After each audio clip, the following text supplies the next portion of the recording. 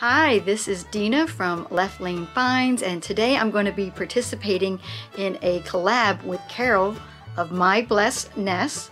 There's going to be a playlist, and the links to Carol's channel and the playlist will be down in the description.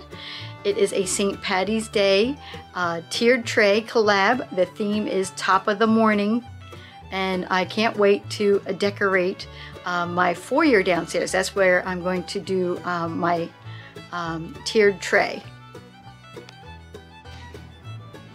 This is part of my foyer. This is my buffet table and I cleared it off a while ago of all the Christmas decorations and it looks pretty plain. I'm going to use this area right here to do my tiered tray design. I'm going to film this as I go along. So far I put on the tiered tray and a few other items on there, trying to think out how I want to decorate um, my tiered tray as well as the rest of the buffet table.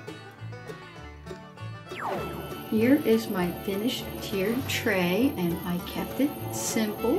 I'm just going to give you a close-up of what I put in it. That is a Lefton little teacup and saucer and I have some beads in there and the tiered tray you might remember from my Valentine's one. I love repurposing it for different holidays, so I incorporated it into my St. Patty's Day. And the little teapot there is actually like a hanging ornament, but I always just have him sitting in my china closet, but I thought he'd go perfect for today's collab. I have lots of little clovers in there with different patterns on and a little pin and some more beads up here that say uh, Happy St. Patrick's. And then I have some more beads down here with some more clovers and another pin and then this cute little trinket dish. I just love it. I just love those purple flowers on that. Let's move over here.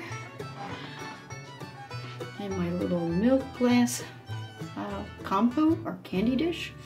I put um, a little happy clover and this is actually bubbles. I haven't been able to open the top of it to actually use it.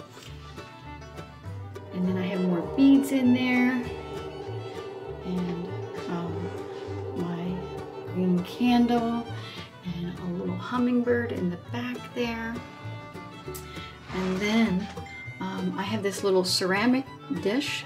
It's like a little um, handmade clay, uh, handmade ceramic, I mean handmade ceramic uh, trinket dish with some beads. And then um, this green rose, I had this green and white, green and crystal. Um, I had it in my Valentine's Day decor, but I had mentioned that it normally goes on the mirror. So this time I grabbed the mirror and believe it or not, there's a little sticker right there. You guys aren't going to be able to read it. But it says Shannon Crystal made in Ireland. So this actually is from Ireland. So it's perfect for St. Patty's Day uh, decor or St. Patty's Day challenge. so then um, I saved this beer bottle because I just love the graphics on all of these um, beer bottles now. They're so much fun. That says Hop Slam Ale. It's from Bell's, which is a local microbrewery here in Michigan. And down under here, he's, he looks a little frightened, that little clover there. And I have a hat, a little beanie hat, and beads, and then, of course, these, which you can wear on your head. And then in here is some vintage threads, like the, um, and some of them are older than others, and then you guys might actually recognize those right there. S&H green stamps. I'm not sure why I have them, but they were in, they were in um, the same sewing box that these threads were in. So I am keeping that because that is so vintage and a throwback to my childhood. So I hope you guys enjoyed seeing my St. Patty's Day uh, decor and my decorated tier tray. Make sure to check out the playlist and give everybody some love in the playlist.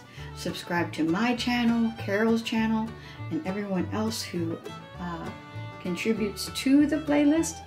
And I will see you guys next time. Drop me a comment down below. I love reading your comments and give me that thumbs up if you love this content.